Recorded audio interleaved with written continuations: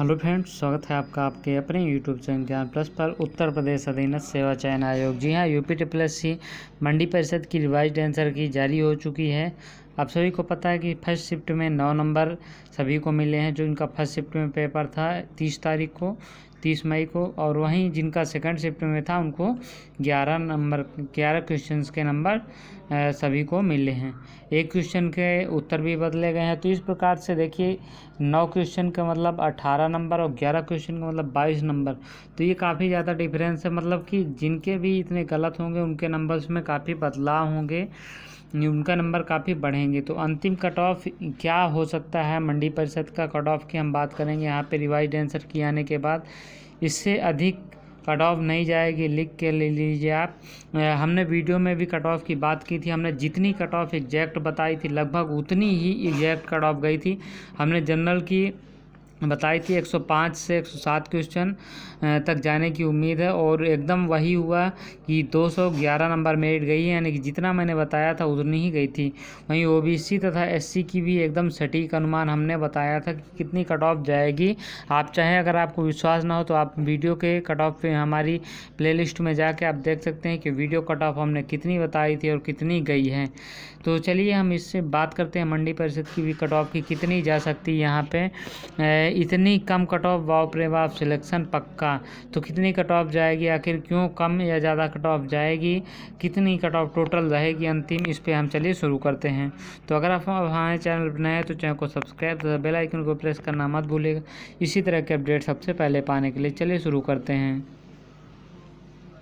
तो आप सभी ने आंसर की देख लिया होगा। देखिए रिज़ल्ट आपका नॉर्मलाइजेशन के बाद आएगा, क्योंकि आयोग ने पहले ही बता चुका है कि मंडी परिषद के परीक्षा जो होगी, दो शिफ्टों, एक शिफ्ट से ज़्यादा जो अब जो भी परीक्षाएँ होंगी वीडियो के बाद, उन सब का नॉर्मलाइजेशन होगा। तो यहाँ पे मंडी परिषद का भी नॉर्मलाइजेशन होना है।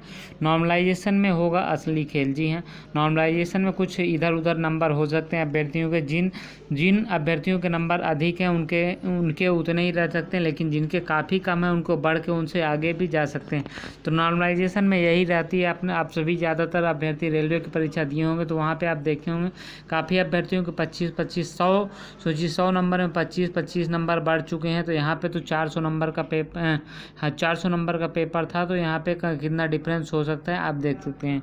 तो चलिए हम कट ऑफ़ की बात करते हैं, बिना नॉर्मलाइजेशन कट ऑफ़ की बात करते हैं नॉर्मलाइजेशन पे किसका कितना बढ़ेगा, उस पर हम बात नहीं कर सकते हैं, लेकिन नॉर्मलाइजेशन में एकूरेसी भी मायने रखती है, यानी कि जितने क्वेश्चन आप किए हैं, उसमें ज़्यादा अटैम्प ऑफ़ क्वेश्चन अगर सही हैं तो आपके पूरे, आपके नंबर जैसे कि आपने सौ प्रश्न अटेम्प्ट किया है, जिसमें कि नब्बे सही हैं तो आपके नॉर्मलाइजेशन नंबर अधिक बढ़ते हैं। वहीं एक अभ्यर्थी के सौ प्रश्न किए हैं और उसके सत्तर सही हैं तो उसके नॉर्मलाइजेशन में कम मार्क्स बढ़ते हैं। तो ये पूरा कॉन्सेप्ट होता है नॉर्मलाइजेशन में। तो चलिए हम बता देते हैं कितनी कट ऑफ़ जाएगी जनरल की ओबीसी की, एससी की तथा एसटी की। इन सब पे हम बात करते हैं। तो चलिए देखिए जनरल की कट ऑफ़ आप देखे होंगे कि जो युवा विकास कल्याण अधिकारी का पेपर टफ था लंदी पेपर था, वहाँ पे पोस्ट ज़्यादा थी, फिर भी यहाँ पे कट ऑफ़ कम कट ऑफ़ ज़्यादा चल रही तो यहाँ पे हम बात बता दें आपको यहाँ पे पद कम है, केवल दो सौ चौरासी पद हैं, उनके लिए लड़ाई हो रही है, काफ़ी अच्छे पद हैं यहाँ पे। तो यहाँ पे लड़ाई और ज़्यादा है, तीन लाख से अधिक अभ्यर्थी भी उपस्थित हुए हैं। तो यहाँ पे हम आपको बता दें कि टोटल कट ऑफ़ जो है, जनरल की किसी भी हालत में 270 से 280 नहीं रहेगी।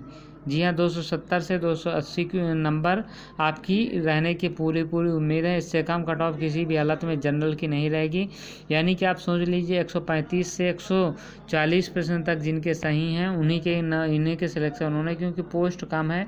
बाकी जिन लोग को मिथ्या लग रही है, उनको वो विश्वास ना करें। ये नॉर्मलाइजेशन के बाद भी नंबर हो सकते हैं, लेकिन दो सौ सत्तर से दो मार्क्स से कम मेरिट नहीं जाने वाली, आप इतना देख लीजिए। तो जनरल की कट ऑफ़ दो सौ सत्तर से दो सौ अस्सी मार्क्स रहने की उम्मीद है। वहीं ओबीसी की हम बात कर लें तो ओबीसी की आप लोग कह रहे हो, सोच रहे हो बहुत ज़्यादा कटाव बता रहे, इतनी थोड़ी ना जाने वाली है। तो अब आपको यकीन नहीं होता तो वीडियो का भी पेपर कितना टफ था और कटाव कितनी गई, एक सौ तो यहाँ पे प्रश्न, क्वेश्चन ज़्यादा थे और यहाँ पे यहाँ पे देखिए, लोग ज़्यादा उपस्थित हुए थे और सीटें काफ़ी कम थी।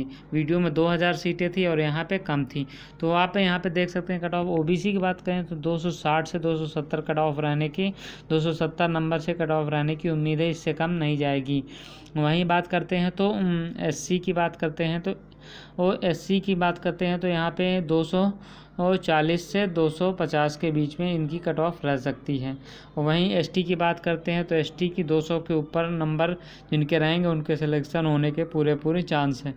तो ये रही कट ऑफ़ आपकी जनरल हमने बता दिया, दो दो सौ सत्तर से दो सौ अस्सी ओ बी सी दो साठ से दो सौ सत्तर एस की बात करें दो चालीस से दो सौ पचास और एसटी की बात करें तो दो सौ अधिक, क्योंकि पोस्ट बहुत कम है, इसलिए वजह से लड़ाई ज़्यादा है, अभ्यर्थी भी काफ़ी थे। आप देख सकते हैं कि जूनियर असिस्टेंट में सिर्फ़ बानवे हज़ार अभ्यर्थी उपस्थित हुए थे और पोस्ट पाँच से दोगुना थी। फिर भी वहाँ पर कट ऑफ़ चालीस में से साढ़े तीस नंबर गई है तो यहाँ पे आप देख सकते हैं, वहाँ का पेपर भी इतना इजी नहीं था।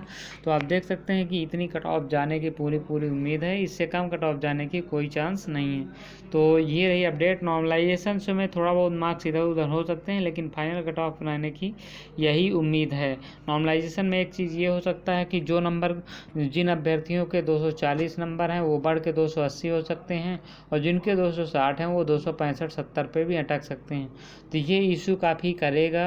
नॉर्मलाइजेशन में नॉर्मलाइजेशन में काफ़ी अभ्यर्थी अब परेशान भी होंगे। जिनका अभी तक तो एग्जैक्टली जिनका जितना नंबर रहता था, उसी हिसाब से कट ऑफ़ का आप अंदाज़ा लगा सकते थे। लेकिन अब मेरिट 200 अगर 60 गई है तो आप 260 नंबर जिनका रिटर्न में बन रहा था 255 जिनका बन रहा था नॉर्मलाइजेशन में, लेकिन कट ऑफ़ 260 गई है और जिनका मान लीजिए कि 260 बन रहा है, लेकिन नॉर्मलाइजेशन में कट ऑफ़ नॉर्मलाइजेशन के हिसाब से कट ऑफ़ दो सौ सत्तर चली गई तो ये जो 260 वाले हैं, ये बाहर हो जाएँगे, जबकि 250 वाला हो सकता है कि इसके अंदर नॉर्मलाइजेशन नंबर बढ़ के दो हो जाए।